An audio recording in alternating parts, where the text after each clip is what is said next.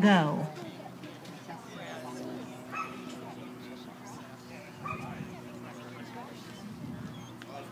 Trust me, I know. After having a dog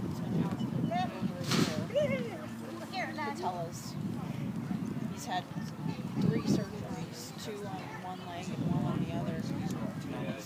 In rehab now. I think we're all good. When we get him rat terrier. He was a, he was a puppy of the stray that I rescued. So.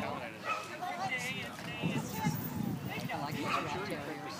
Yeah, I've been talking to Candy because I told her I said the next one I'm gonna go get a purebred. I love my rescues, but Uh-huh. I, I want a good, solid agility dog from the Jet was a. Jet was a rescue, and you know, we never know. Yeah.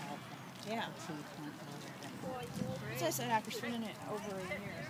Three on the line! and line. you ended up spending all that money anyway, right? Well, fortunately, I had pet insurance on him.